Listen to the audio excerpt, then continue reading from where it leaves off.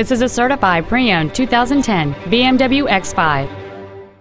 It has a 3.0-liter six-cylinder engine, an automatic transmission, and all-wheel drive.